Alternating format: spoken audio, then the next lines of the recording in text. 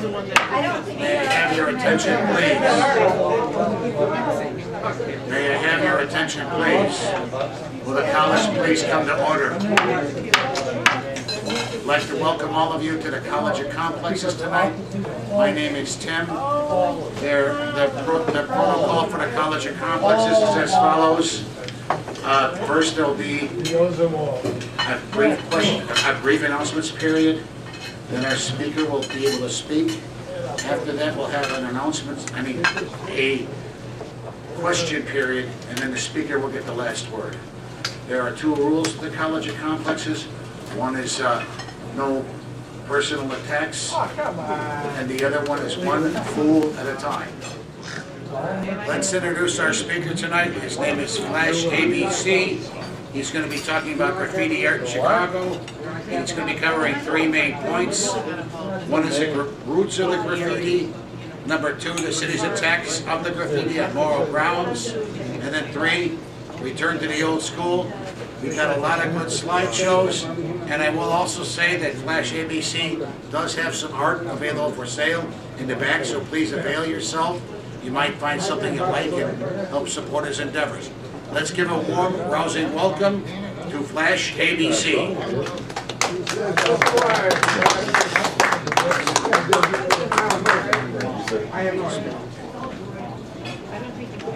Uh, Thank you very much for having me tonight. Uh, My name is Flash ABC. I am a member of Renegades of Funk. Speaker is a- the. Renegades of Funk is a non-profit organization that preserves Chicago hip-hop from the beginning. Any uh, murals and stuff like that, when we have artists working with them, they go through us to uh, work with us. What I'm gonna show tonight is how this all started in, in um, the realm of Chicago.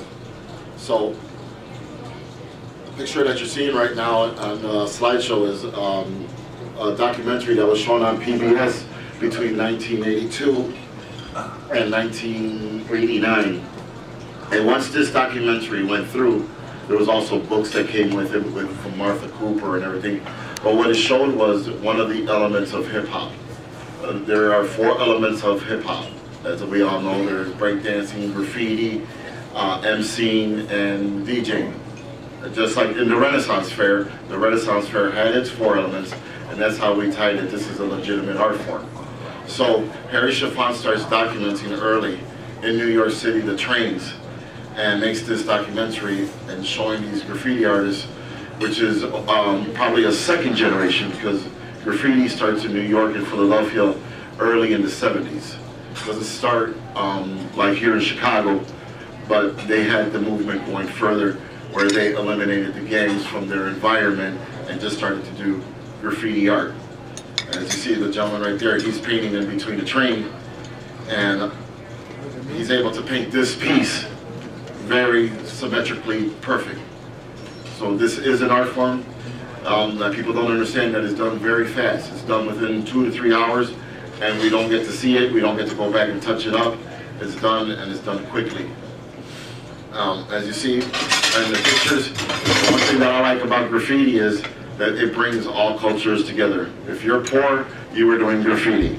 Okay, there was poor white, poor black, and as you see in the picture here, they would gather at the writer's bench in New York and do your four or five elements of hip hop. And of course, um, some of the first early pieces were messages, Dump Koch, you know, you, you've probably seen Crime in the City. Um, messages, that's where the, the difference is, is. Of course, there was a movie that came out then, Hollywood took it over, came up with Beat Street, and everybody started to pay attention more to the breakdance scene. But here is one of the pieces, and as you see, it's always on the train. There's always that um, urban environment with graffiti where you're on the train, you're in the city.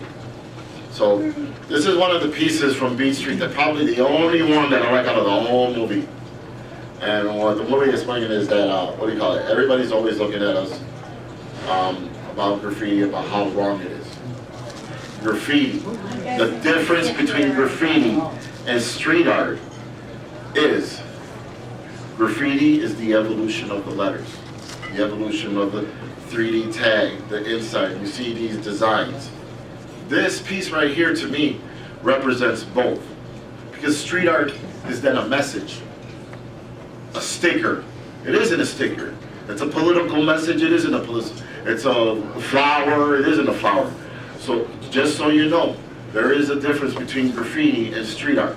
When they say the word graffiti, that is the evolution of the letters. These have, these letters have technique in them. They have 3D. They have aura. They have design. There is a concept that goes with graffiti art. Street art, which they're trying to mix it in, is that what it is? It could be a sticker, it isn't. It's a political message, it is. It's something, it's the advancement of graffiti. But I'm a traditionalist, I go back to the graffiti letters.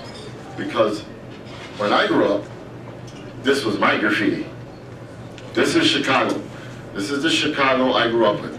Black and blue, black and yellow, ugliness, gang. From between 1979 and 1980, this is what I fought. I didn't want to be part of this.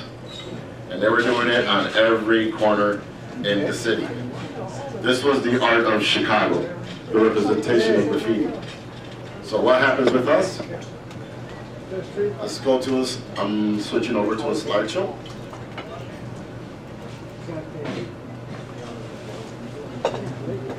This is where I grew up in Logan Square.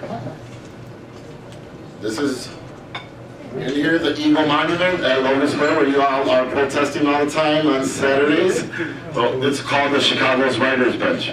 Just like New York has a gathering for graffiti artists, here's a gathering for Chicago. But in 1985, this was what I was surrounded by.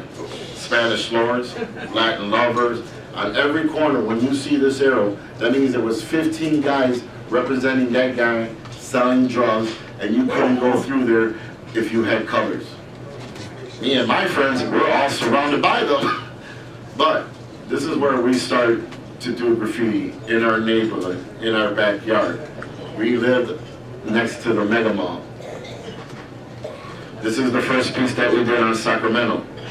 My friend went to New York and came back to us and we're 15. He's like, do not do gang. There's no such thing as gangs for us. We're gonna do graffiti. But what kind of graffiti? I'll show you.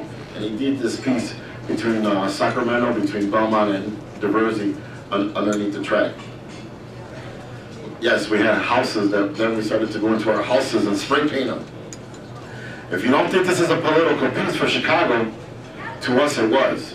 This is spy versus spy, and if you look, it's people versus folks. That's the two gangs in Chicago. And here they are fighting themselves.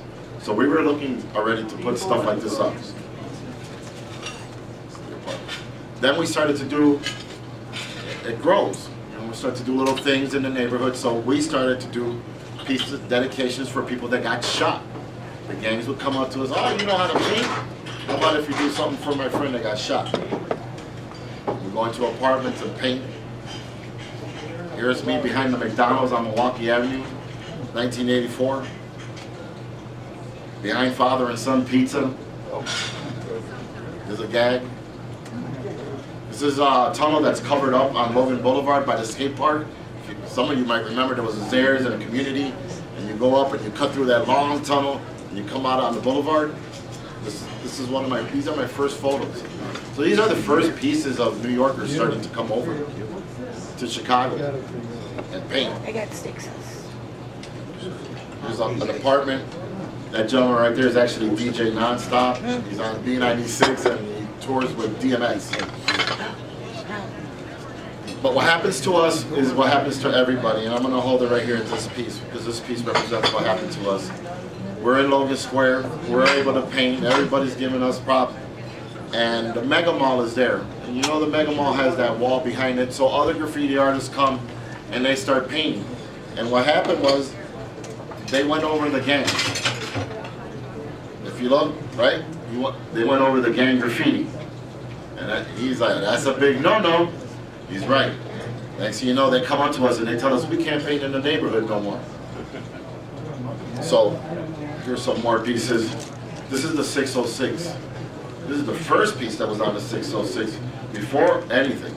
And I documented it, and we'll talk about the 606 later. This is the Mega Mall also. These are the first pieces in Chicago where we forget about the gangs. And, and we start to try to do this. And just like everything, the gang comes up to us and tells us, you can't do graffiti no more. Why? Because you guys keep going over us and there's no respect. Bet. Two days later, somebody else gets shot. You're welcome, Here they comes another gang again. Hey, and you guys paint the piece.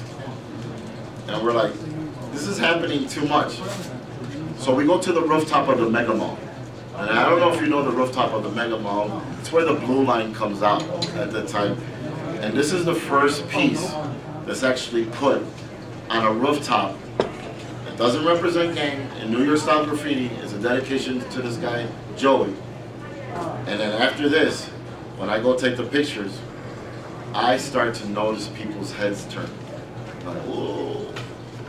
And we all start to forget it. We're really gonna go like New York. And we start hitting the rooftops everywhere. We go all the way up to the Damon. This is located on Milwaukee and Fullerton, top of Hollander. Now tons of people paint that one. Rooftop. Of course, we paint too much in our neighborhood. Logan Square Neighborhood Association comes, says, why don't you paint the first graffiti wall in Logan Square? And we did. this is probably our, well, I, I see our hype, Michael J. Michael J. Fox is playing in the background, Teen Wolf, Logan. I made sure to get the shot. So see, as a kid, I was already even thinking that these were timepieces, because this wall doesn't exist no more.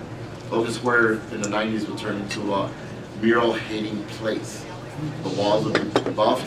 If you look at the fireman's mural, is a perfect example where they removed the mural from the wall and just placed it off of it. There was a big ban on spray paint, and it started in Logan Square. It was Alderman Mell who started the ban, not Daley. These are more pictures and pieces throughout the city. Here's the, Logan, the rest of the Logan Square terminal.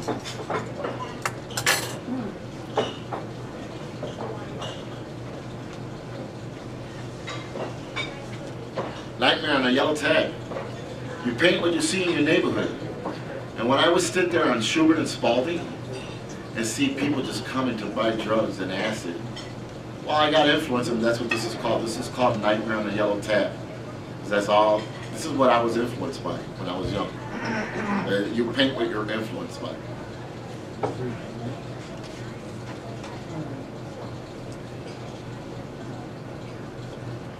I start to venture off as a photographer, even as a kid.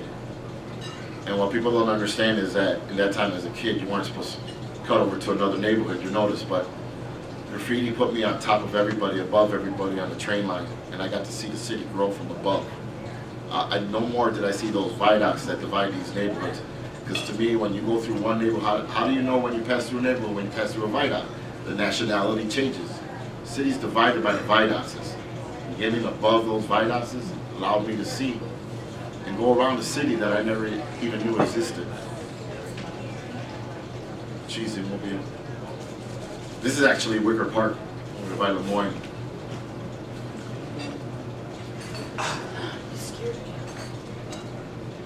The influence of Chicago games, no matter what, always infiltrates people in Chicago.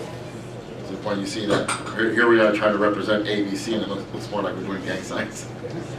But it's what I want people to understand. We got to get away from those ugly colors. You know, here's our purples and pinks, and we no longer have to see those ugly walls anymore. We started putting it up for free wherever we could. And they came from New York and influenced us. There was an influence, and it was to go to the rooftops. The city's ugly from above with all that brown, right? And we've been fighting that brown forever. There are three budgets in this city for the buff. The CTA has one, the Park District, and the Streets and Sanitation. Four million each one. And you think about the money wasted. We voted in that stuff. So, what happens to me Of course I get caught. you get caught doing that, and then I um, I went to the military, and in 2003 we did uh, the WNUR started to do radio shows with us. I'm going Talking to the mic. Huh? Can you talk into the mic? Oh, yeah, sure. What happened was, um, um, Loyola started to do hip hop shows. And we put the internet, we started to, as graffiti artists, attack the internet early, putting pictures, putting websites, to the point that um, I was a moderator for the Chicago Graffiti Forums for probably 15 years before Facebook took it all away. And everybody was going over there to organize themselves to do all these walls that, that you see us doing. So I have been doing walls with my friends since 2003. This is the Logan Square Dog Park. We got the Amadia Nows, the Cavalier Marnells that's no longer there. These are all the old schoolers when we gather up. This is Risk ABC. When we come out and we paint, and it's basic. Um, there's a difference between Chicago graffiti and New York graffiti. And I'll change it. If you don't know, I'm involved in the Frankie Knuckles mural twice. Put it up on Milwaukee and Sacramento on the rooftop, and the city loved it so much that the owner came and erased it nine months later. So it took me three years, then later, to get it back on the beeline. So I've always been fighting the city. Uh, that's, that's not afraid, but I know the law, and I give it back to them. Is there a ban on spray paint in Chicago? Is there a ban on spray paint in You can't Chicago? purchase it. There it is. Can I walk down the street with a can of spray paint in Chicago? Yes, Yeah. Yes. can't purchase it. But we have a society here that has criminalized art. Because when I came back to Logan Square in 2008, between 2003 and 2008, nobody wanted to have these murals. So if you go from 22nd and Kedzie all the way to 63rd, every other block the crews have a wall. And I was invited on those walls between 2003 and 2008. And They have an event. They have an event every year now called Meeting of Styles, and all these graffiti artists from around the world come to Chicago and paint that South Side on all their walls. Almost three football fields worth of graffiti they're painting. So I wanted to bring this back to Logan Square because between my history is Logan Square, and the history is that we started to do this art form before it was, you know, popular. Now, uh, you go to Logan Square, there's not a corner that doesn't have graffiti, right? but this is the south side, and this is, if we go through this, it's 140 pictures of eight years worth of, uh, I've been documenting. Are all my photos. They've been painting every single year. There's football fields worth of graffiti over there.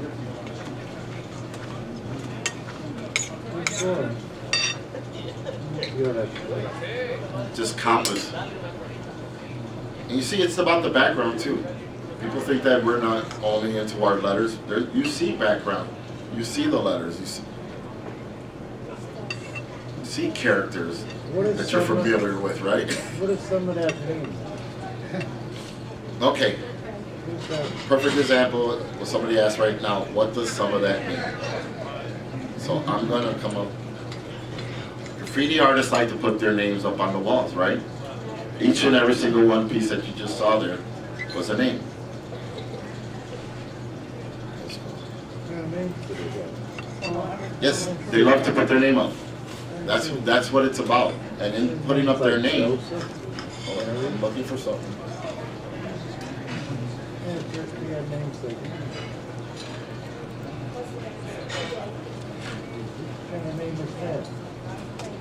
In putting their name, they're keeping a tradition that has been going on since the 70s. This is a person's name in Chicago. In Chicago, you're going to learn something tonight. Difference between Chicago graffiti and New York graffiti is Chicago graffiti is legible. You can read it. The letters are coming out at you. There is a balance and flow. Where New York doesn't, doesn't want that, doesn't have that, hides their letters. If you look at this, this is a traditional Chicago piece. You have balance and flow. What I mean balance and flow, if I have a design over here, you're gonna come over here and see that same design. The piece is P, E, G, E, simple. Do you see it now? Yes. Do you see the P? Here's our P. It's a simple. All this other stuff is designs and doodads and what graffiti is. In tradition, graffiti has arrows, auras, and 3D. Here's your arrows. Here's an arrow over here. Here's your aura going around the hole.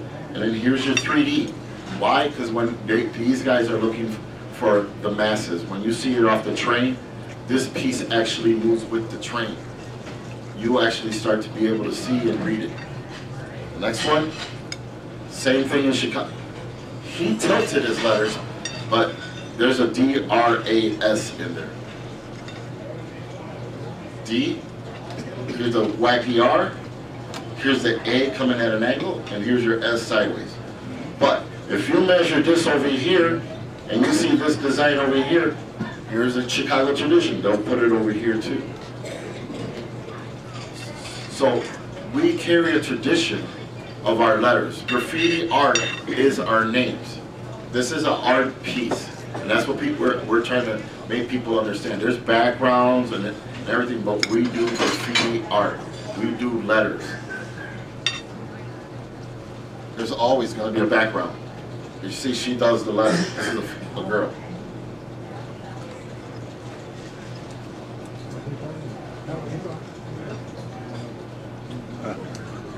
You see what I mean? When you see something over here, this arrow, you see it over here, you can expect the design over there for it. If you measure some of these angles and flows, these guys are so good that with one angle on one side, here's a perfect one. See the arrow on this side? There's an arrow on that side, isn't there? Whatever the letter structure is, they're gonna keep a tradition going. And the tradition, the tradition has been set years ago in the seventies. You know, when the New York graffiti artist said it. It has letter structure, you have 3D, you have aura, you have design, and you have doodads. That's what a graffiti artist says in a documentary. There's always doodads, cuts and doodads and flows. But the piece has a flow to it. And this is the art piece. So, and that is what we're trying to um, show you. That yes, they have the background and everything, but all this is done for free. And they like to paint freely. This is the last great form of artistic expression created by American kids that hasn't been dominated. You see it in movies here and there, but still to the tradition. I have this wall in Logan Square, and I've had it for eight years. And for eight years, I have to have a calendar schedule where we have panels that get rotated monthly and bi-weekly, and they come. And they, as the old school artists, they see me, and there is a form of respect that they're willing to wait their turn. So we've built a community. There is a community out there, and that community is painting all those murals that you guys see around the city. But here's where they get to come in Logan Square and paint for free. And let me, uh, let me go to the beginning of this real quick.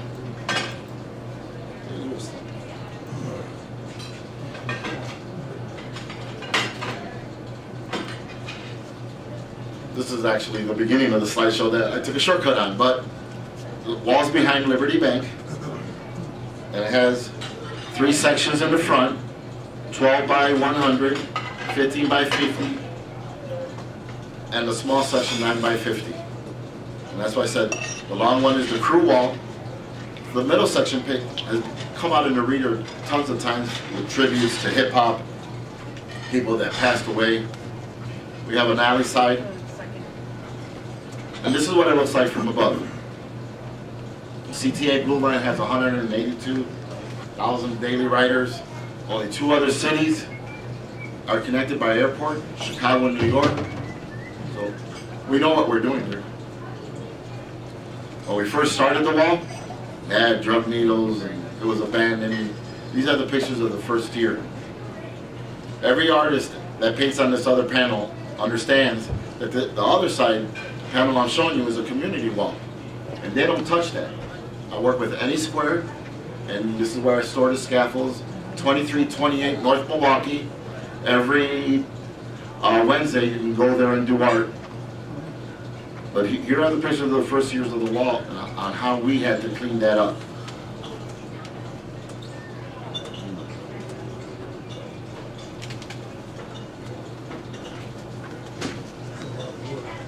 Drug needles, everything.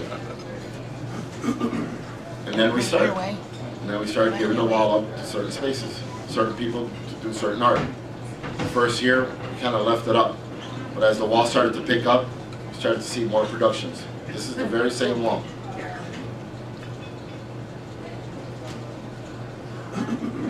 Gentleman came from uh, Singapore to paint on the wall.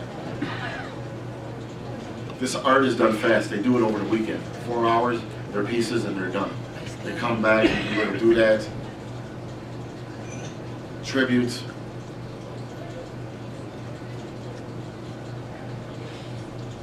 We brought in the New Yorkers one year, and they did a whole production.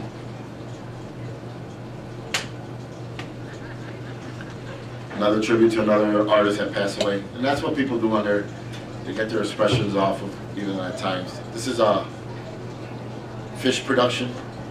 See how they have their own background. They'll put the letters up first though. They'll put the letters up first and then they'll work on the background. Yeah, that's good. Oh. Yeah, of course we're gonna celebrate the Cubs, the Sox.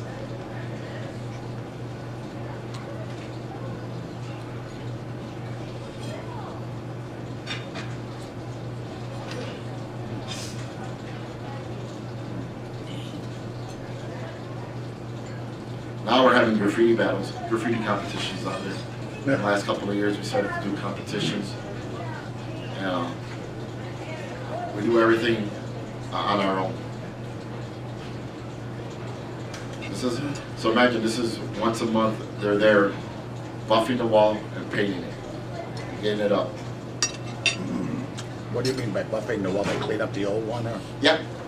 Mostly, um, when he asked the question, what is buffing the wall? Mostly what happens is that people come by the wall now and drop off their old house paint because they know that we'll use it to, and what we want to do is just respect the other artist and erase his piece completely so that when we put up something, the old piece doesn't show. So that's what he means by, that's what he means by buffing the wall. You mean just paint over the old? Yeah, we paint over the old with uh, old house paint. Because um, no matter what, it's latex, and we're putting acrylic, so we do our own coating. The art pieces that I have in the back, what happens is after a while, the rain comes and it starts to pop. So I noticed in uh, Detroit, there's a community that goes around the graffiti walls and picks up chip paint, and then ladies do art to uh, uh, support themselves. Uh, the company supports three homeless ladies. So I started to do the same, and the pieces that you see in the back is me taking picture frames, cutting out, and then you get a piece of uh, art history from these walls. It's just a little piece, 10 bucks, if anybody wants anything. But as you see, they have themes. They do have themes. Isn't that beautiful? I mean, isn't that beautiful? The story and reaction. There they are. So I'm from Logan Square and I put this piece up. Next you know, all the hipster uh, places were tagging in and everything. like, And I, I removed it. This is my piece. This is called Logan Boy by Cesar Perez. Very simple. But this piece came out in the Forbes. Is Logan Square going up in? Yeah. I uh, sometimes feel that by me doing this and cleaning this up, I moved myself out of Logan Square. Because I did this for eight years at Logan Square and I lived right down the block at Cornelia.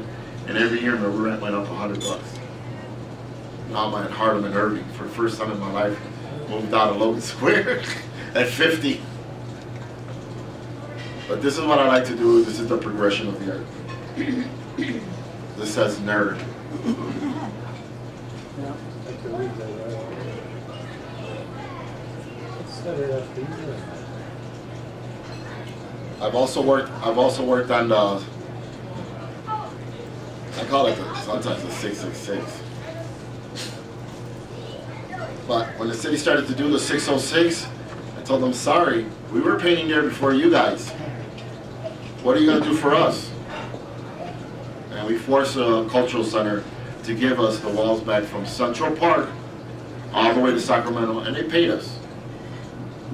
Paid us and for that big opening of the 606, and now we're having trouble going back because the art's getting old and we want to paint it again. But this is why I'm out here because we painted those walls, and even the artists got pushed out because we have not been back.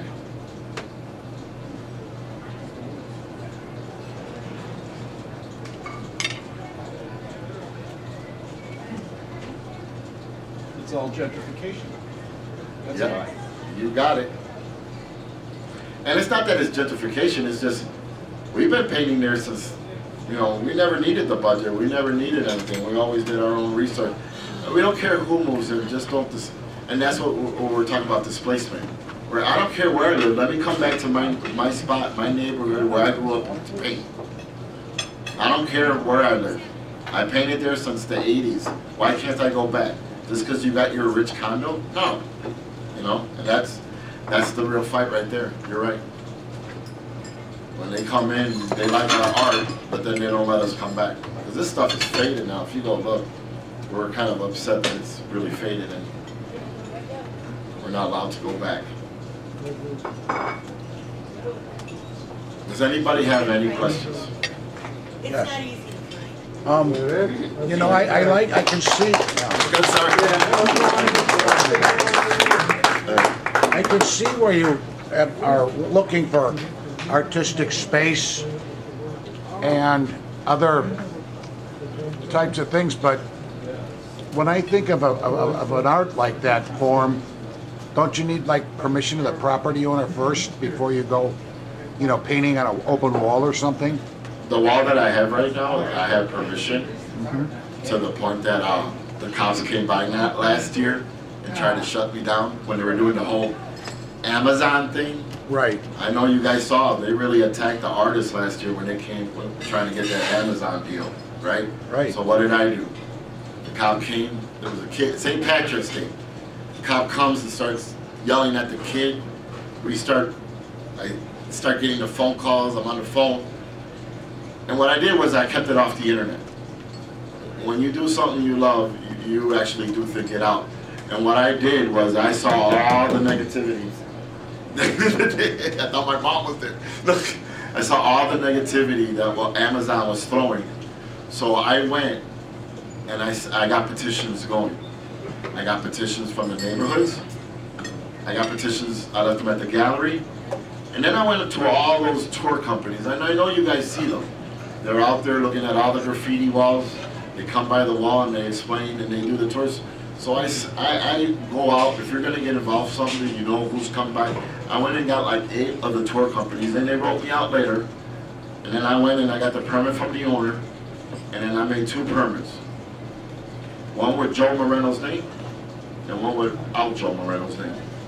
And I walked up to him and I said, talk to your district commander, because we're having problems. Are you with me or are you not? Here's all my paperwork. Seventeen pages of petition of people wanting to see this project continue. You know what? He signed it. He signed it. And I never had to see it.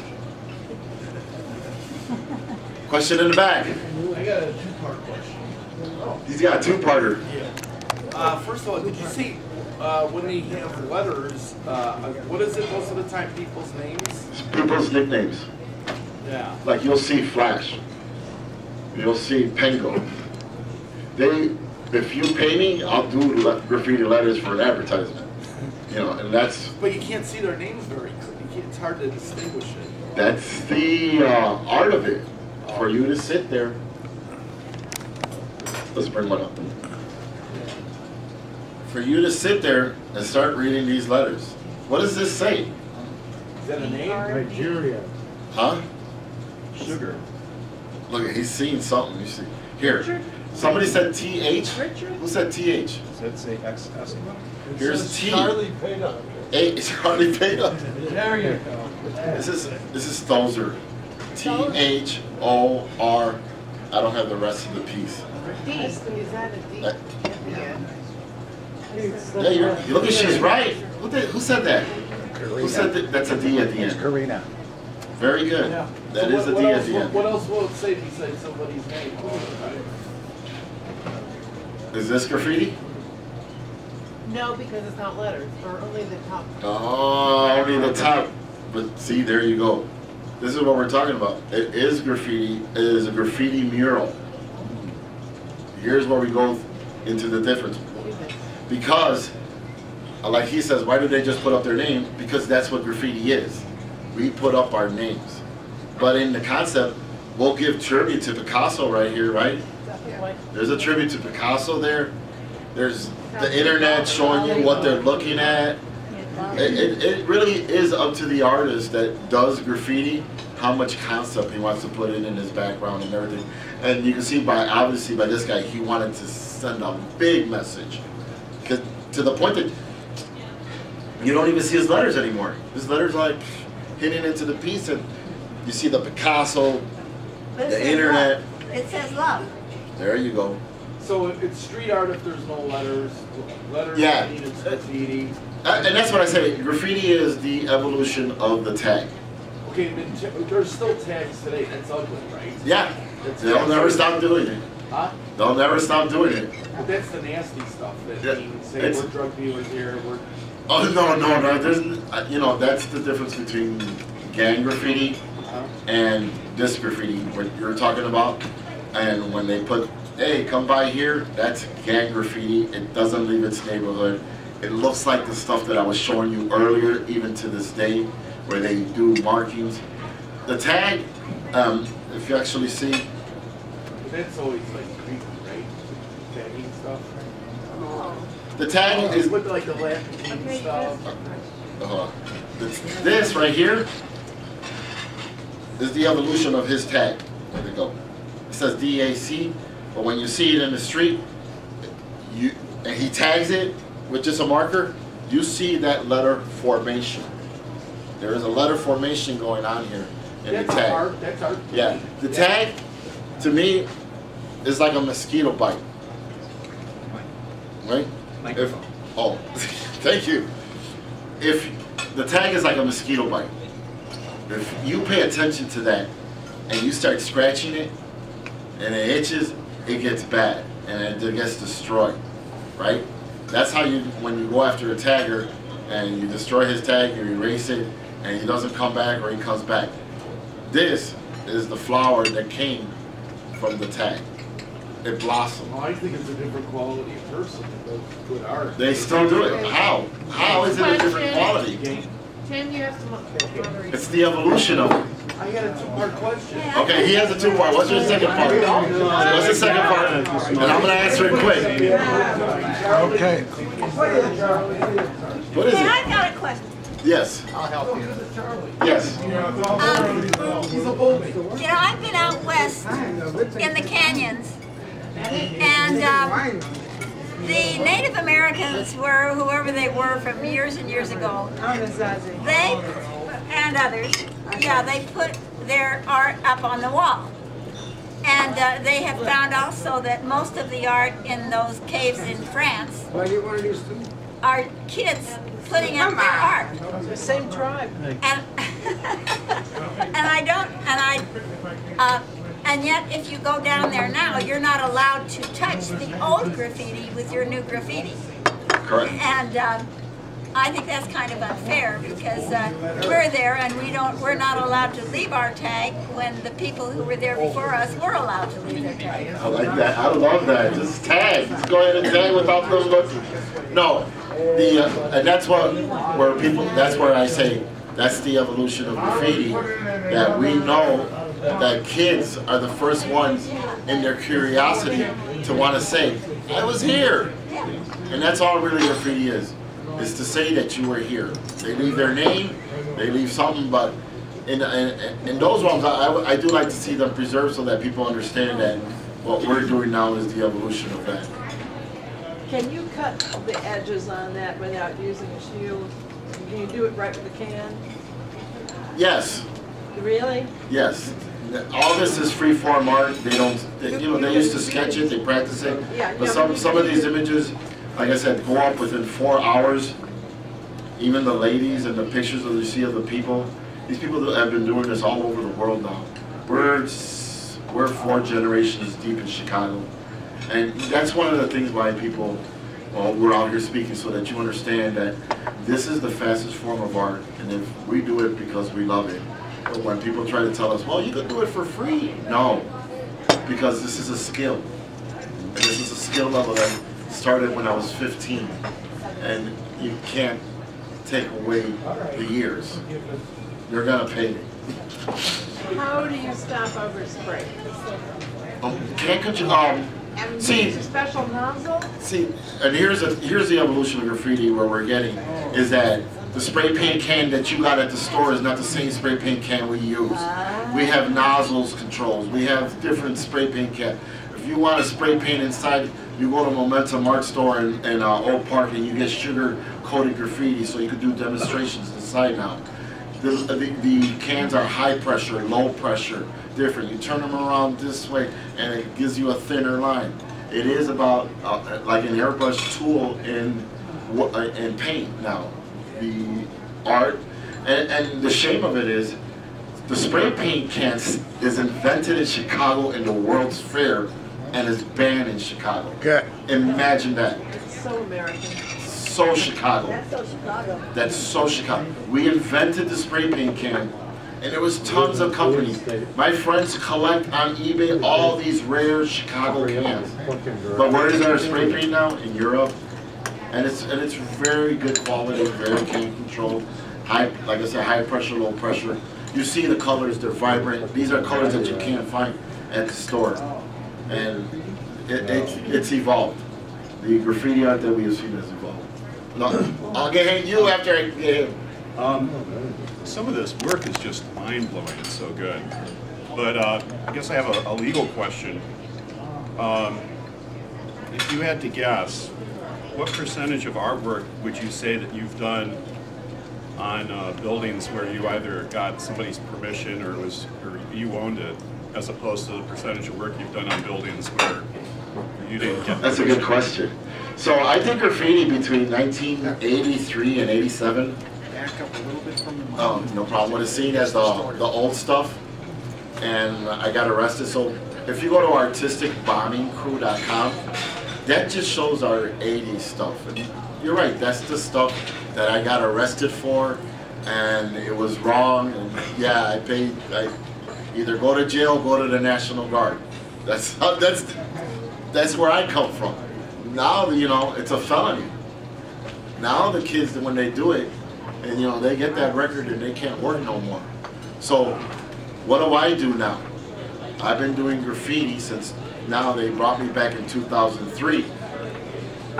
And I see a community that didn't really have a, um, a push.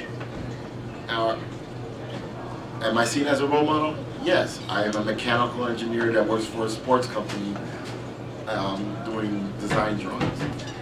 So they see me as a leader and then as an evolutionist because I have shown, I understand that I can't do what you're seeing on the screen because I'm 50 just like you guys and these kids can paint and it's a marvel and it's a really uh, fascinating artwork. And if they just want me to be part of it, to speak to you guys or to go around the country and talking about it, I'm willing to take that responsibility because we need to show this art form. And we need people to understand that it has a history, it has concept, and it has rules and techniques. Bob, you got, you I want to get him all the way in the back because he's been back there raising his hand all the time. All right. Okay. Yeah, I'm wondering how to, especially when you're dealing with, uh, buildings that are privately owned, how does the business, uh, the landowner feel about this? So he's asking me how does that work, and what I, if you, you don't get involved in something unless you know it. And the city of Chicago does have a municipal code that we teach the landlords that if they want a mural on their building, they don't have to go to downtown to get a permit. It is an artistic impression. So yeah, we do have a lot of owners that want us to do this, like the owner at Project Logan, and I make him write out a list. I mean, I make, I write out a permit, putting the city law in there. So even when the city goes after him, because they do, he already is, knows the law. And the law is that I can put any artistic impression up on a building as long as I'm not advertising. And what about the business, the, the landowner that doesn't want you to be vandalizing? Then I stay away from them. I've never put anything on a building in my adulthood for somebody that didn't want it. Okay, Yeah, there's, pe- you're absolutely, you know, this is an art, we've grown. I'm asking, I ask permission, and if he doesn't want it, I go. But for every person that says no, I have like seven walls around the city that I rotate artists so that they can get this expression out. Because this is energy. This is energy that we've been containing as little kids that we have to get out. And that's where the vandalism comes into play, because we gotta get it out. But I guarantee you, when somebody's painting on my wall and they get that freedom out, it, it does calm down that spirit. They understand. This is about, you know, a spiritual releasing. Do you know Banksy, or have you ever met Banksy? Never. I think Bansky is great. I think Bansky um, started up the question, what are we doing? What are these people doing on these walls? Um, if it's not for these uh, documentaries, I've been in a few documentaries, and if, if there there needed to be conversation because people didn't know, Bansky represents that second generation that I'm telling you that is now being labeled as street art because he puts up a poster and he's pulling something and there. So I, you have to uh, embrace that. You have to embrace that movie and say, look, this is what's going on and it's going to continue. Plus, Okay, uh, there's a ton of suburbs out there with nothing on it. And, you know, a lot of these places are looking for public art. You know, I mean, my town of Algonquin alone, they had, they have a Mexican restaurant next to a park on the river, and the guy was having trouble finding a graffiti artist to paint him. How, how you does he? find me. no, there, uh, and it's hard because we've got to the point. Um, there are people that, in- in a sense, when I do one of these walls now, I got a guy coming in from where does Lo- where does Sneak come from? Where? No, Oh, he's, he's bound by Joliet. He's, I have a guy that comes in with a big pickup truck and he has a sprayer and he preps the wall for us now. Does Our- he do that for a living? No. They get paid He to work, do it, no, do it for he's free? one of, one of my old school graffiti artist friends that, uh, he's a contract worker and he works at McCormick Place, but he has a generator and sprayers. Um, every project that you see, like the, any, the, the six oh six and the Logan Square Dog Park, when I get that budget, I include a scaffold. That's for myself. I include a generator. I've included throughout the years doing all these projects, something so that when we do these projects with a lot of artists, we cut down our time and our money goes, you know, more money goes into our pocket. But when we do projects like that, if anybody wants to contact us, um, you can, you can find me at Project Logan or Flash ABC at Gmail. And we have a community that's ready to paint because I got them booked on my wall monthly already, and it's only March, and the wall, the schedule's already filled. That's how many artists are in the city. Would you give us your definition of art? My definition of art? The freedom of expression. That I, that's the only way, because I see, you know, I'm in a bike club, and I see these old men working on their bikes, and these are old swing 1956 cruisers and everything, and they turn them into this art form of res- restoring. And there's an energy that's released off of that. So to me, art is whatever you want to express. I, I never like, and maybe this is why my wall works out of all the city in the wall. I never considered myself an art critic. You know, because the, the one kid that I denied to paint on that wall is gonna be the one kid that probably can get that chance to elevate himself somewhere that I, I couldn't get to. So anybody who is free to express is an artist? Yes. He comes on my wall and paints a pig all the time. and background color and, and, and look, he's one of the oldest. And I started putting him on, on there, and to me, I can say, oh, his pig isn't up to that quality. But all the kids like him. They come around, where's Lardo? Lardo! But he does shows.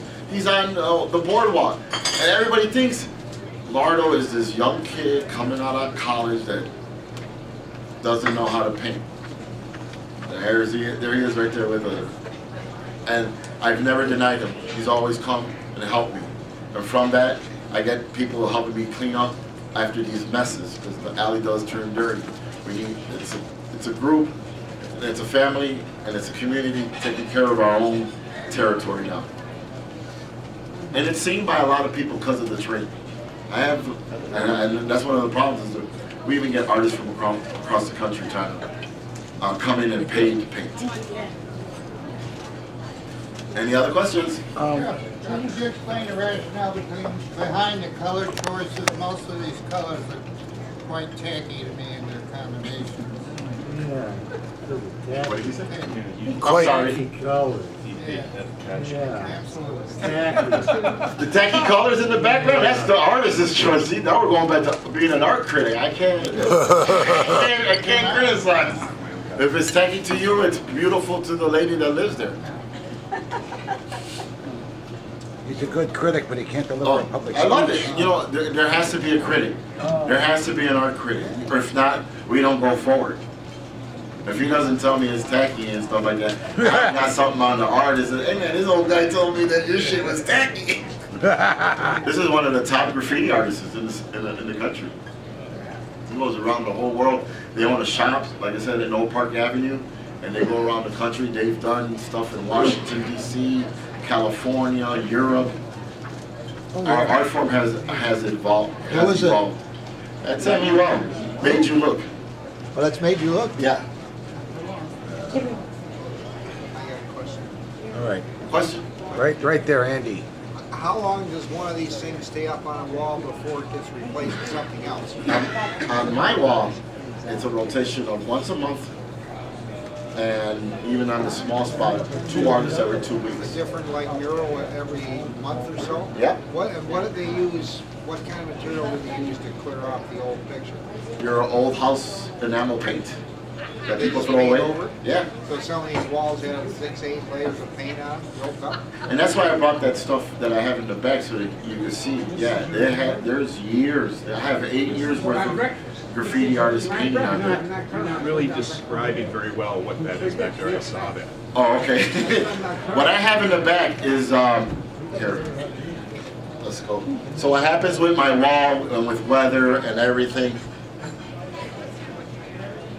Okay, let's go over here.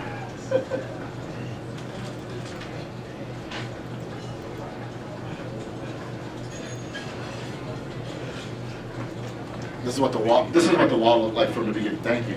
This is what the wall looked like from the beginning. And you see all the scrub and material and the dirt, they scrape it. Oh, wow. All this stuff gets scraped. So what happens with some of, some of it, that the enamel starts to get on there and get clear, and you start to get a clean surface. But on the top, the water, I'm sorry, pushing the thing, the, the water comes out, and the next thing you know, you get like a big pimple on the wall of water, and it starts to separate. So we have to scrape that off. And what happens when it scrapes is that we were getting these big pieces. So we're selling it. We cut it out. This is a piece of the wall. And what, what somebody was saying, the layers. Yes, there's layers. When you buy this piece for 10 bucks, you're buying eight years worth of graffiti. There it is. The layers of graffiti. Thank you for bringing it up so people could understand, but this is what I this is what I sell to get the more spray paint for the wall. We sell these around the city and, and on Etsy and uh, go to the second hand, you get a frame and then you cut this out in a bandsaw and you put it in here, and you have a piece of history. Some of the artists, I cut out bigger pieces. You'll see the bigger pieces, but the wall's gonna get get scraped anyway. It falls off, it gets thrown away. I turn it into art. My daughter, if you go to Zombie Recycling, you'll see earrings and pendants and stuff made from the wall, the actual wall. So we take from nothing and make something, which is what, you know, real art is. Th- Thank you so much, y'all. Oh, we got one more question in the. I'm uh, All right. involved in the railroad community and the railroads of the United States are very appreciative of the way you and your pals have been decorating uh, their boxcars. Thank you. Is there any reason for this? No taste. Or is this your freedom No. to express? It's you, uh, That's a very good question. Why is my wall popular? That's and the same question of why do we paint at my wall and why do people paint on freight trains? So that the masses can see it.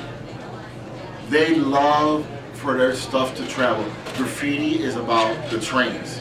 They love the trains. I think I showed somebody earlier on Instagram right now. They were in the yards painting in the CTA yards at River Road. The the, the um, to and then the freights are different because they go all the way across the country. So you're sitting there as a kid in Chicago, and if he doesn't know, my hand is what represents the Chicago rails. All the railroads come straight to Chicago. So when they have kid paints in the railroad, all these tracks go around the country to a different rate, and he sees on Facebook that his train made it to LA. uh, that's tapping that ego. so it, it is about getting your name. And see, this is where it goes back to that ego thing. Yes, we're egotistic. We like to put up our names. That's what we do. And when it goes across the country, it's it's pleasure and joy. If it's on the CTA writing, it's pleasure and joy because it's we know that it's seen by the masses. Because I saw a freight train the other day, a, a car said dump Trump. That's the, and that what he saw there is a traditional train to the New York dump Koch train that was going on at Fab Five Freddy. So he saw some history because in the same letter was it at an angle sideways the letters? Uh, they were actually like, kind of like a modal coming out. They were like deep, like See? sort of like like a deep thing. Go Google and you'll find that train and you'll see that that person that painted that is actually uh, giving a tribute to Fab Five Freddy and the Furious Five when they painted a dumb Koch train up in, in New York.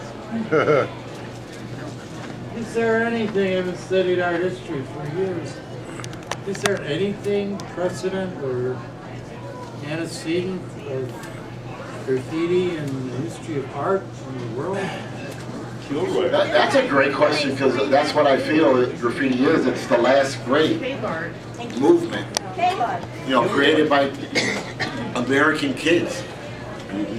The people that uh, started doing graffiti, I don't think that they understood that it was going to carry on.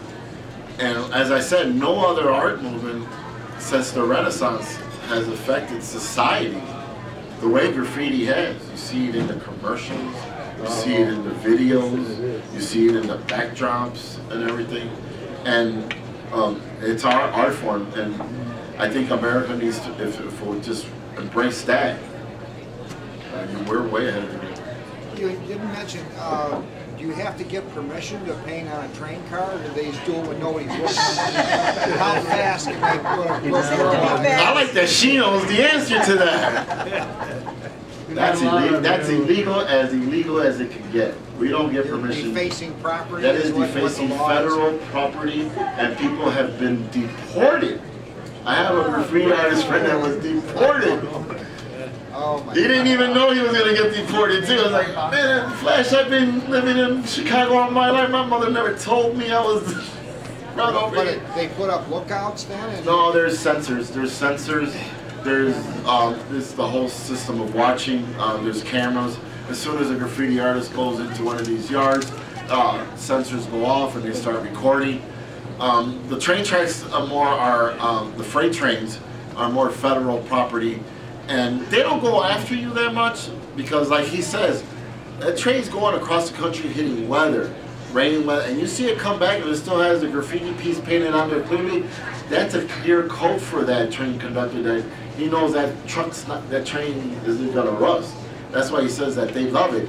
If you actually see, once a graffiti artist puts a piece on, the train people from the freight company just come and put the numbers back, remove the li- little numbers, and that's it. They leave the piece, correct? So there's a whole, uh, there, there's, if I want to say anything, there's layers of graffiti artists. The graffiti artist that paint trains will not paint on a permission wall. The graffiti artist that does a freight train will not paint a CTA train. There are different levels of different Thank you, dear. graffiti artists. And some, you know, they all come back and Thank they do you. paint. You want a box? You ask a freight guy, they only paint freight, and that's it. They only want to paint freight. It's um, still that enjoyment of going out into the middle of a cornfield in the middle of the night and painting a, tr- a train. Is that where they do it when they're stopped? Yeah. In the middle of nowhere? Middle of nowhere, up in You Waukegan. know, not in the rail yard. Up in Waukegan. There's also Joliet too. Joliet. It- A couple times I've seen uh, graffiti on trucks. Is that, do you, do you know artists to do that? Some trucks give permission, some trucks don't. But you, but you know I artists seen, do uh, that. um, what I was saying is, um, thirty-six in Albany, if anybody of, if any ever gets a chance to go out there, it's called Crawford Steel. It's where they do the cold rolling cutting of steel in Chicago. The big trucks come in. The perimeter building is surrounded with graffiti, and then the truck drivers come in and say, man, paint my truck. So some truck drivers do, and especially at Crawford, I see it at Crawford Steel, because it's, it's an advertisement piece, isn't it? Makes the truck look good too. And they do it within four hours and the truck driver's there for six, so. you know. Wow. With that, I think um, I'm done. I appreciate everybody listening. I really do from the bottom of my heart. And if anything, I hope you guys leave here with an understanding, you know, of the- what Chicago graffiti is. Thank you. Thank you. You can sit down, you get the last word. Oh, there's a last. You get the last word. That was my last. If people uh, get up and ask questions during the rebuttal or something, you can, uh, you get the last word. Okay. Last It's gonna be rebuttals. Thank our speaker again for a really uh, enlightening presentation. This is the time the college starts the famous rebuttal period, so who would like to give a rebuttal uh, or say something on the world situation or whatever? Get- Put up your hand so we can get a count, so we'll see how many minutes everybody gets. One, two, three, four, five, looks like five, six, six people, right? Okay, uh, everybody gets at least five minutes tonight. Okay, Come on up. each and everybody You gonna be gets the first one? No. five minutes.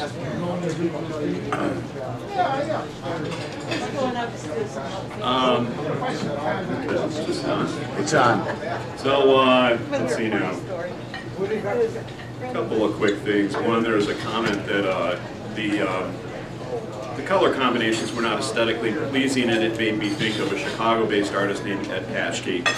I heard him talk once and he said uh, when he was in uh, college, which was the Art Institute of Chicago, the instructor told the class, do, whatever you do, do not have a painting with orange and purple in the same painting.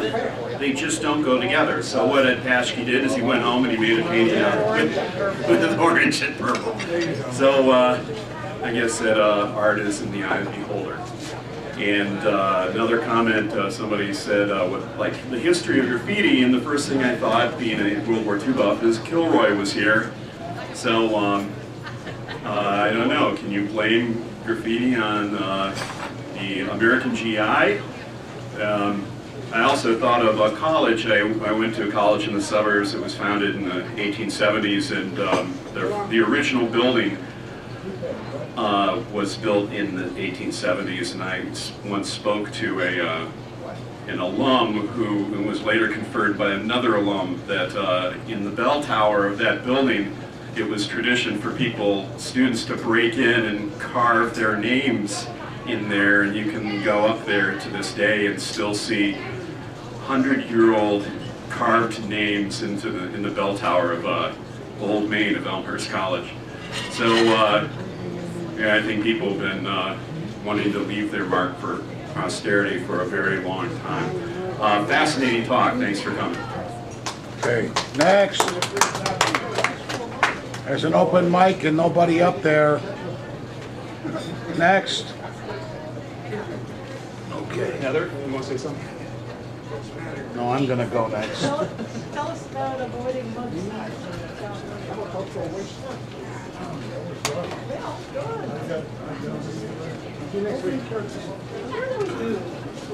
I can remember a long while ago, about I being in the art of the beholder.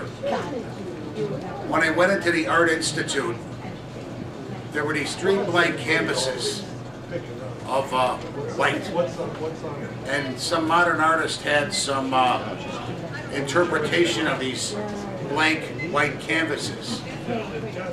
I'll never forget, I was in the Art Institute that day, and I was being a little bit uh, sarcastic. So I got my friend and we're staring at these white uh, canvases, and I says, ah, three pictures of polar bear and snowstorm.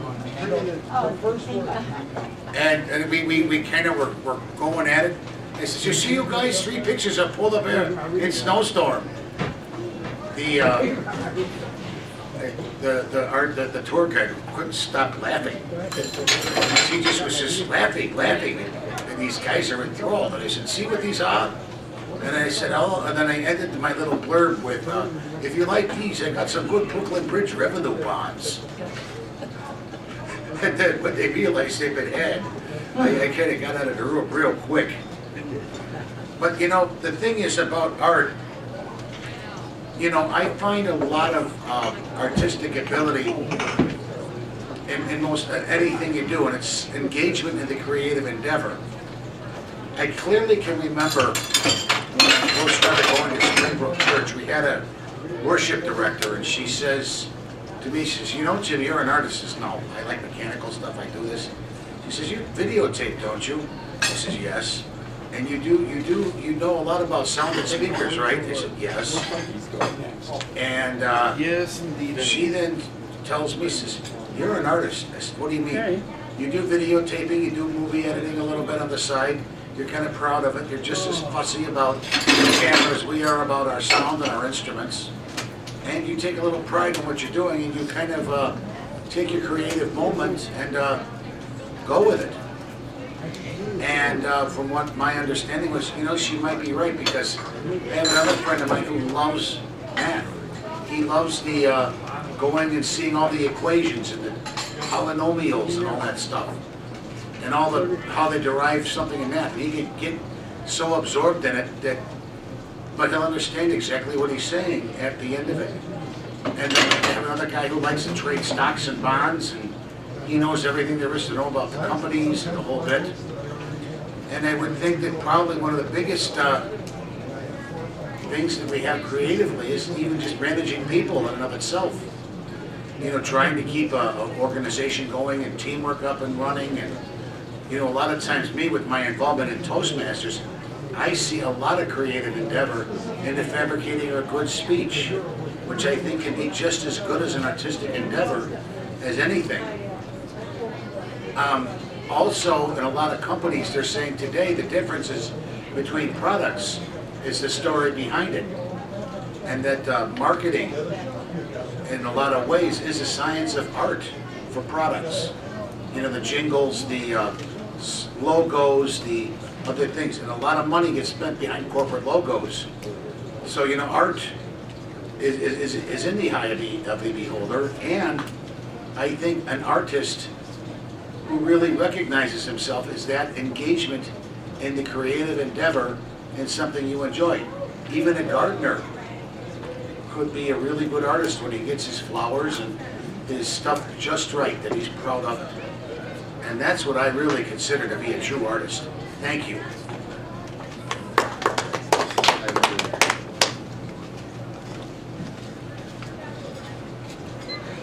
All right. I think uh, most of Chicago's uh, learned to appreciate this art, street art. I like it. I wish it was a little more political, though.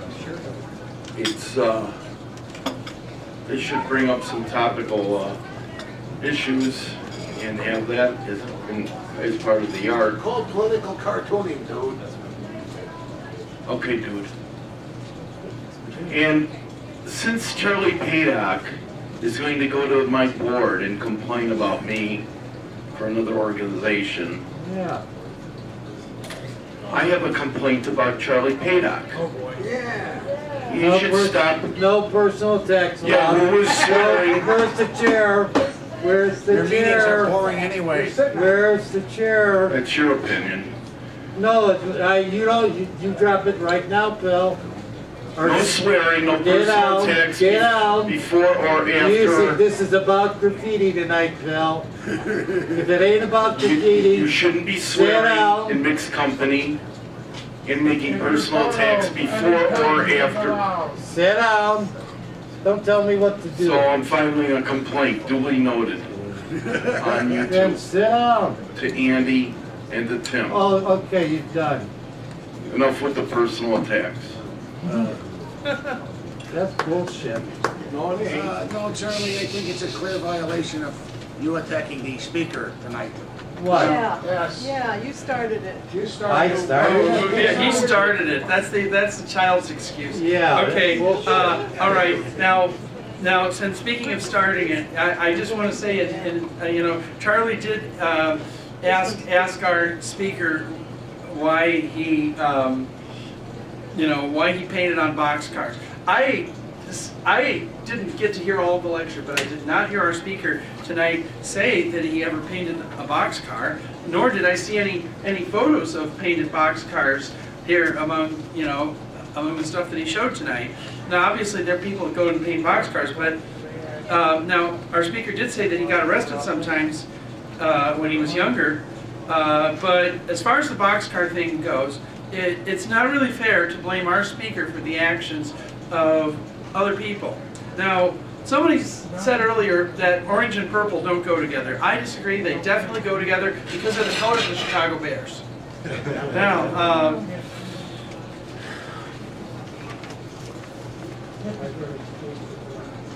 okay.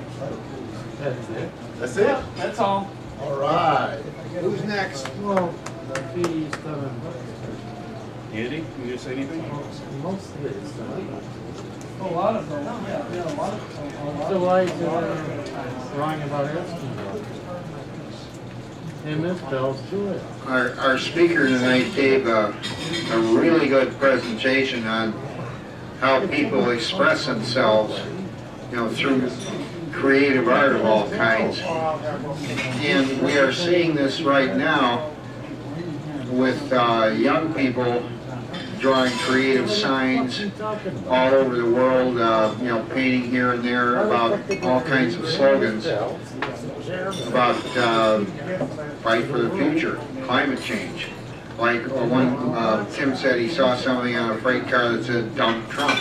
Well, um, that kind of creative art, some really good signs. Uh, you can log on to a couple of websites and it's in pictures. There's tremendous pictures of creative kids, 9, 10, 11 years old, all over the world, carrying posters and signs. And um, I'll probably do a presentation here in a couple months with, as we get into summer, on the best of the best of what's happening all over the planet. But uh,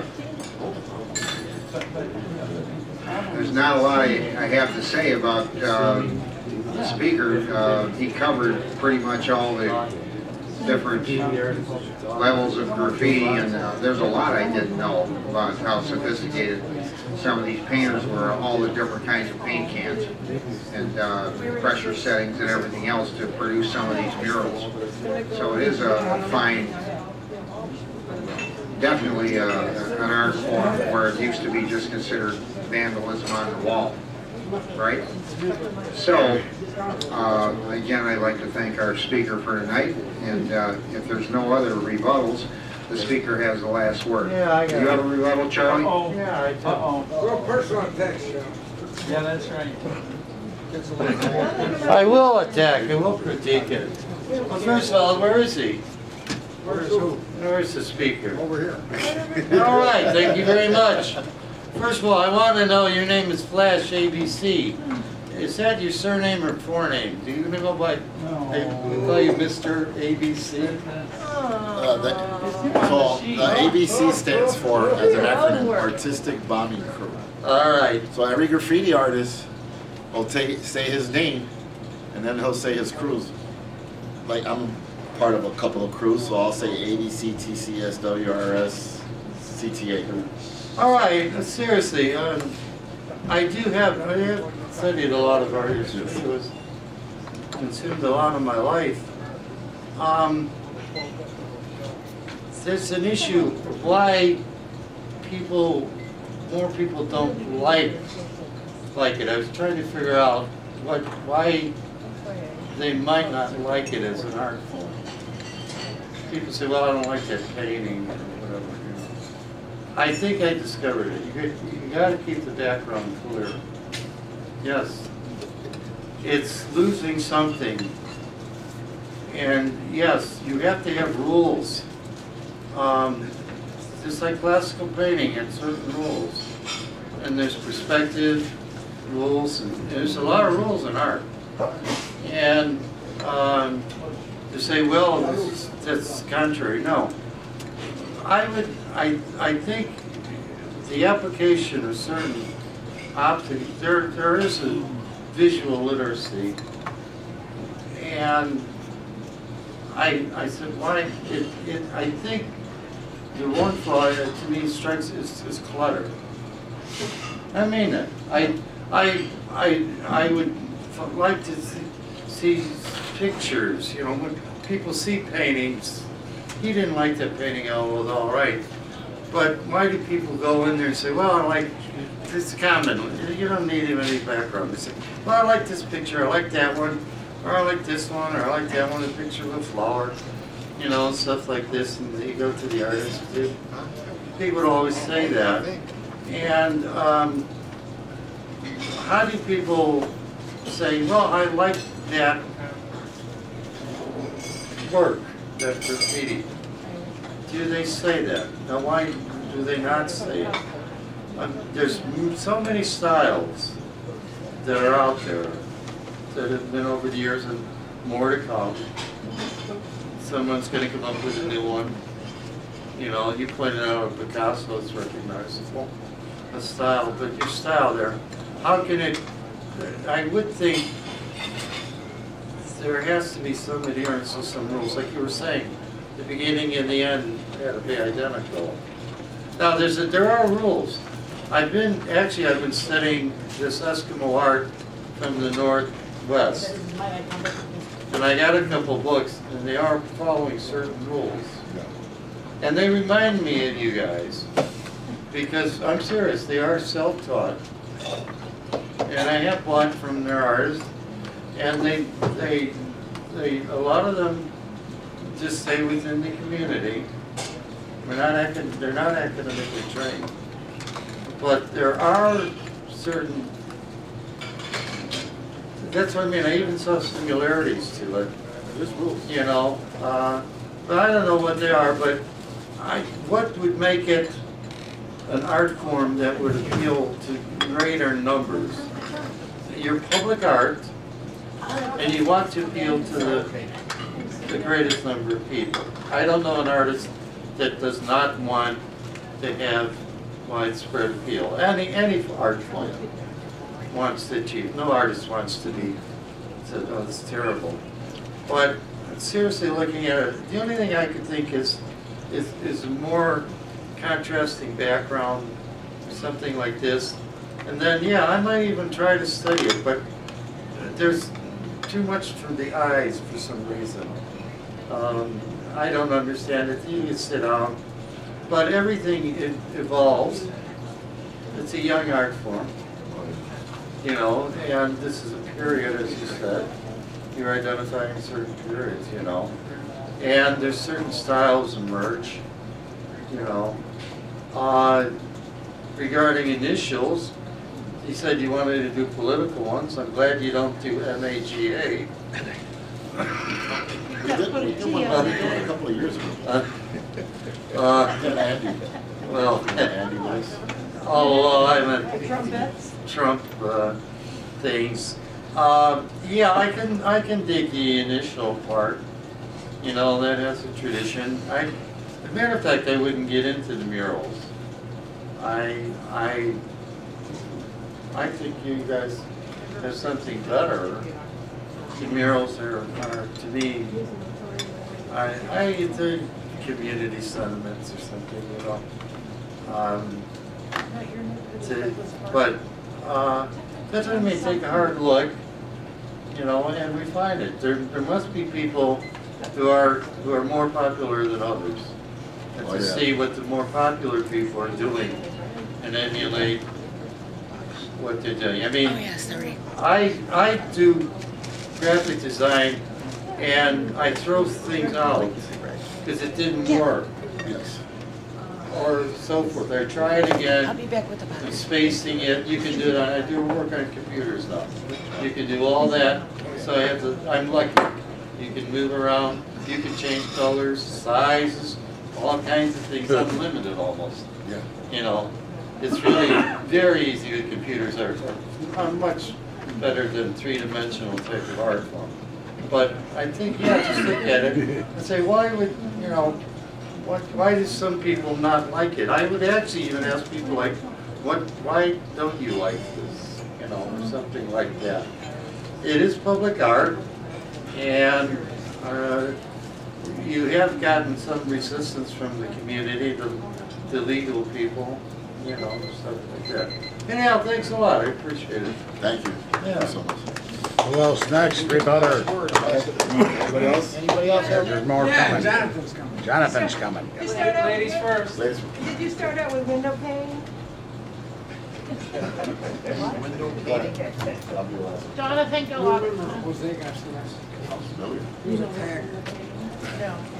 Jonathan. Never heard of him? I apologize for being late. This is by Henry David Thoreau in his essay, Life Without Principle. We should treat our minds, that is ourselves, as innocent and ingenious young, young people whose guardians we are. Be careful what objects and what subjects we thrust on their attention. Read not the times, read the eternities. Conventionalities are at length as bad as impudence. Even the facts of science may mind by their dryness unless they are in a sense effaced each morning, or rather rendered fertile by the dews of fresh and living truth. Knowledge does not come to us by details, but in flashes of light from heaven. So this evening, uh, from the work that I am familiar with, Flash, I want to thank you for giving us uh, fresh and living truth. And I want to thank you for sharing with us the eternities, because uh, the times is so 20th century. So, uh, here's one that I wrote. I'm in one of those focus night peace dreams, walking and I don't know where my feet lead. So until it's over, I'll be reached by only these spirit songs. Spinning with another windy tree, hammock with the late clouds lyrics free. So until it's over, I'll be reached by only these spirit songs. Floating like a wing on a rooftop oasis. It's been a day since I worried about that non-issue, the Bill Mountains burning down. Floating like a wing on a rooftop oasis. It's been a day since I worried about that non-issue, and now it's working out. Floating like a wing on a rooftop oasis. It's been a day since I worried about that non-issue. Hurried to the house to kiss her and say thank you. I'm in one of those focused night peace streams, walking and I don't know where my feet lead. So until it's over, I'll be reached by only those spirit songs. Every day's bursting with infinite more colors than a fiery summer sky shows us. Stardust rays sparkle and shine in all what our open eyes could never know or guess. Each creates a vast new light in the cosmos from a wildly other kind of bow and mist. This lesser known way is not where we often find it bloom. In these parts, patience is like a gold chest. 365 circles, drawn in an outdoor journal. We wish we could fly over all these hurdles. All together they make a scatter shape. Together, who can explain? This never-ending high wire, heart bend, but yet no heartbreak. And there's always plenty of time to say thanks when the call goes out. There's always plenty of ideas to wake us up, the dreamer knows how. And if we only got one here tonight, let's make it grateful, let's make it thankful. If we only got one here tomorrow, let's raise a voiceful, let's David this Goliath model. 365 circles drawn in an outdoor journal. That's how many days we can volunteer at our local. 365 circles, we are learning to fly over these hurdles. When we have strength in numbers, we can fly over Earth's roads. Thank you, Flash. All right. I'm taking 10 seconds. I would like to speak. Okay, you know, provider of goods, provider of goods, provider of getting out of the poor. No central plan needed. What am I talking about? Capitalism. Capitalism. Thank you. You know, yeah.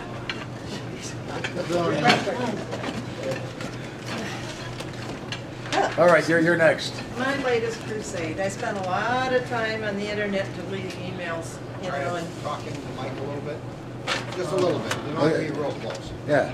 I, uh, if I don't delete emails every day, by the end of the week, I'll have a thousand. Um, And uh, there are people from the left, people from the right, everybody's fighting about whatever's going on. And uh,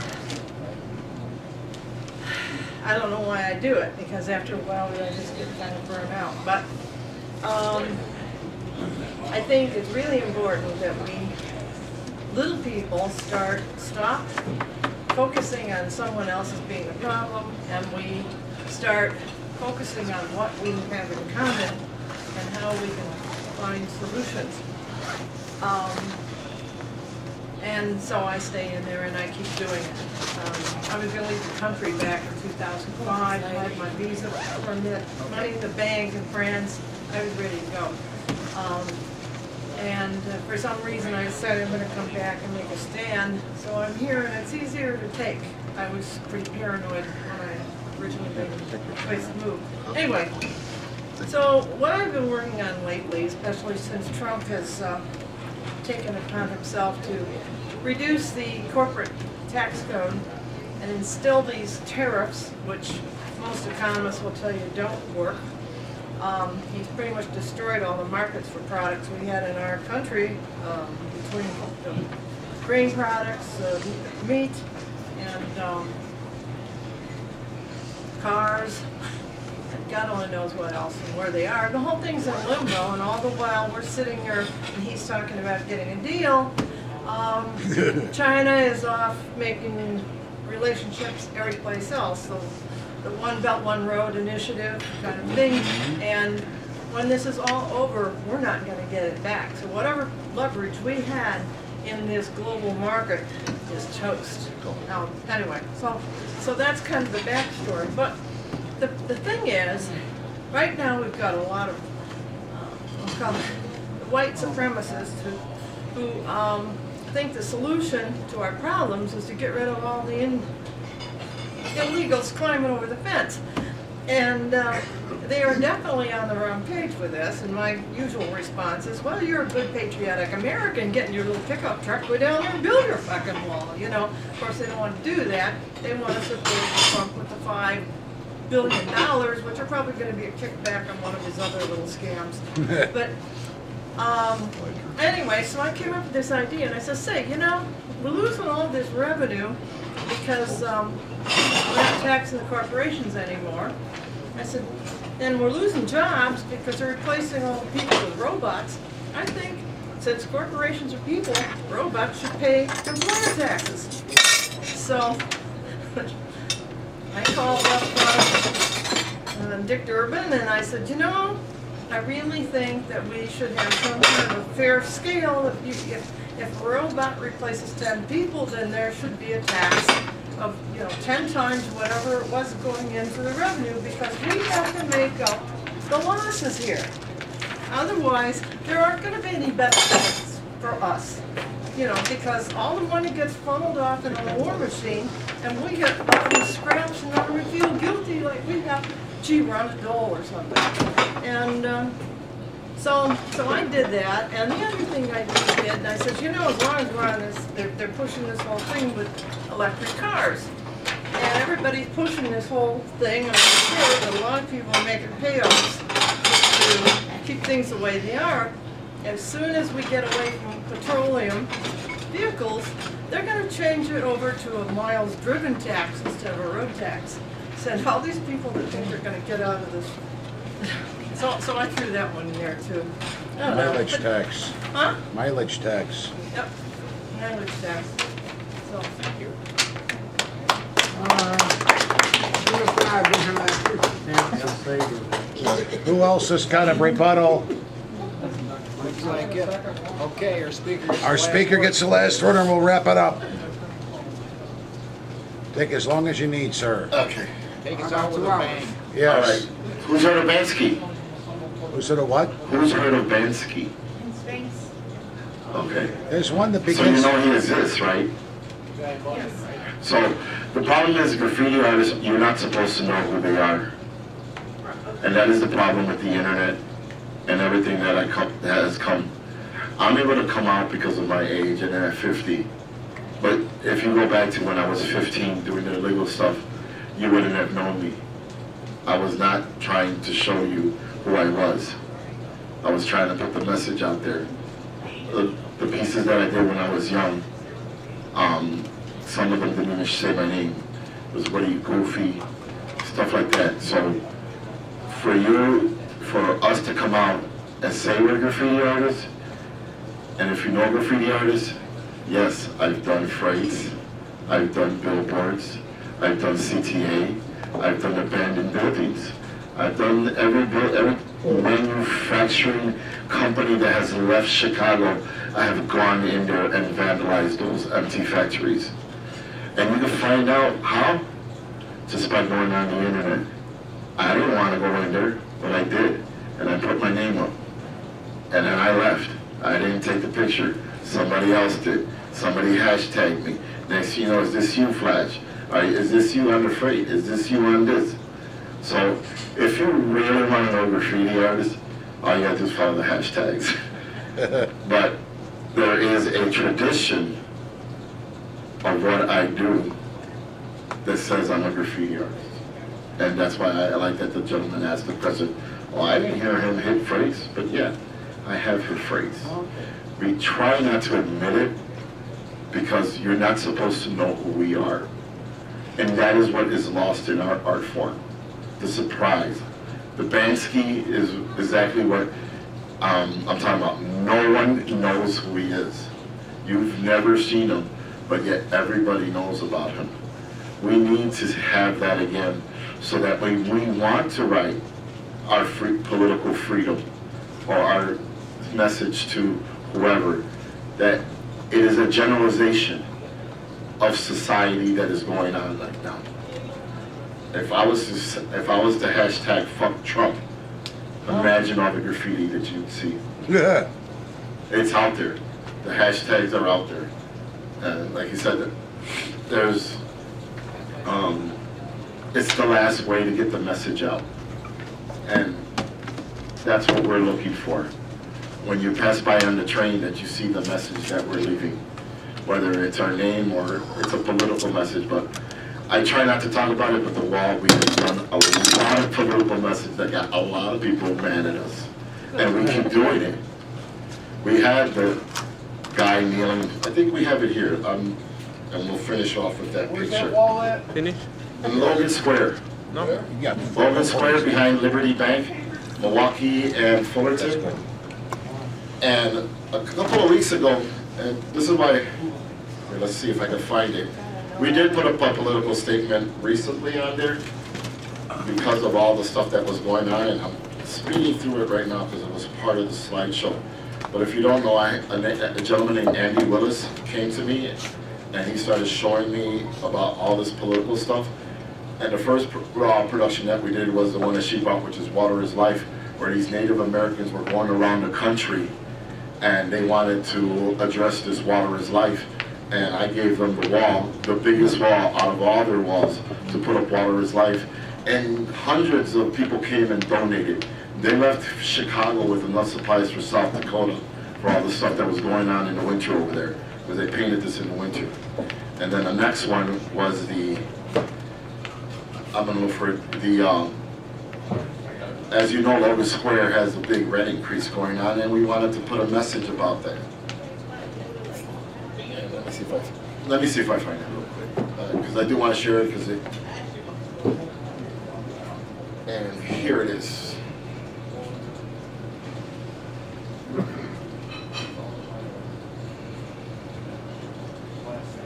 This was our representation because so much shit that was going on with Trump and everything, and Puerto Rico and Maria and everything. We decided to put up, and we were putting up what you see is an Uncle Sam. This is a traditional uh, piece because if you look it up, it's a black and white. I think it's from it's from the political 1950s, and it's a Congress. There's a Congress on the snail. Uncle Sam sitting on the snail Congress, and Indian drinking out of water. A vulture rewriting the Bill of Rights.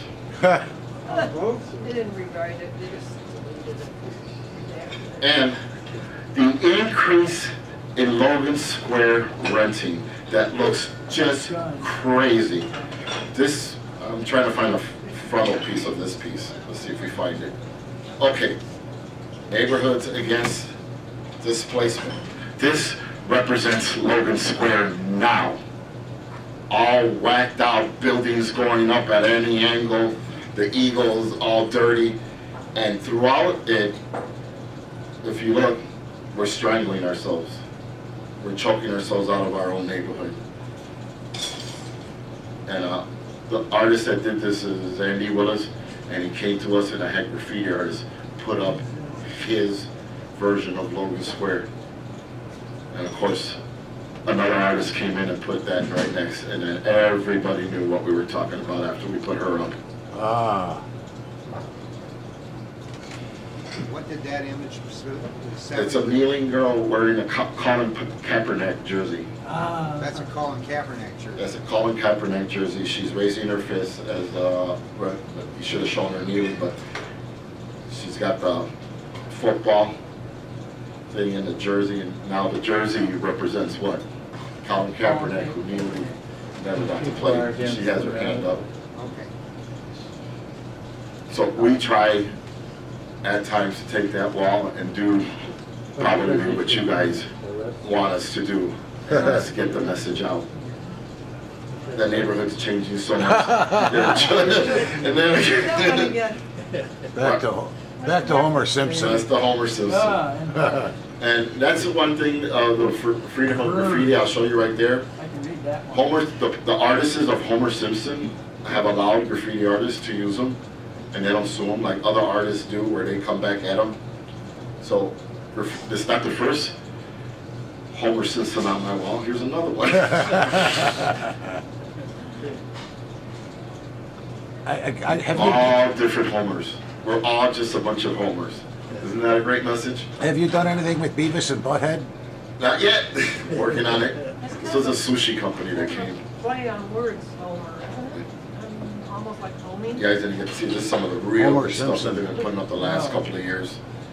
And this is what I, I really like to do. I, I like to share with you guys. This is, I like to share with anybody that wants to understand what we're doing. Come on, you guys don't remember Texas Chainsaw Massacre? Isn't that what that's from? That image? Yeah. Right there? No. Or uh, what's this image from? Come on, you old schoolers. Not Texas, but what was the other one? Night of the Living Dead. This is a zombie movie, Oh, Night of the Living. Dead, where he's pressed up against the window Oh, and he's right. trying to get to the little girl. The 1950 movie. There we go. What is that image with that woman? She's probably from the same movie. Because they take a movie and they'll use the images from that movie where Stands for all. China. Oh, here we go. Night of the Living, the Sons of the Living Dead. So she's from Night of the Living Dead. Yeah. Remember that scene? The guy right here, Immediately. Well, it looks familiar. right? This is part of a movie clip theater. And they add- added, actually added to their thing. And look at the artist, Goya. G O Y A. Just like the can of Goya flavor. And, and the, uh, and the famous Spanish artist Francisco Goya. There you go. Look at look at that. Tying it all in. Yeah. And I bet you he doesn't even know about it. This, you see the top? They put the images of the people walking. Little subtle things like that. Bring it all And together. the, and the, and the gas pump and the car's on fire. Oh, you saw that? Yeah, I saw it. That's the scene from Night of Living Dead. Oh, see, he, somebody saw it. He I saw- Because I saw the movie. And you, th- that's what art is to connect. You know, he knew that pump was from that movie. I did. I'm with you. I didn't know.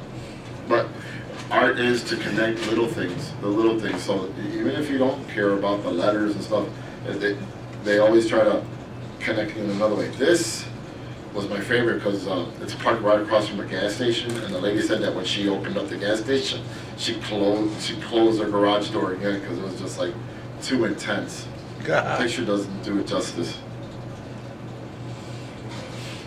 So just so you know, this is what we do. We try to evolve and get people, other people involved. If you guys ever want to come by the wall and do a tour, I would gladly come by and give you guys a tour. I've done it for many groups. Okay, what's, what's the exact address of the wall again?